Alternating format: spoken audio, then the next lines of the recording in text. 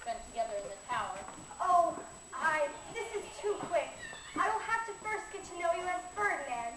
And if I am to become queen, I will first need more education before I can marry anyone. Then I am not rejected. Oh, Prince, quite the contrary.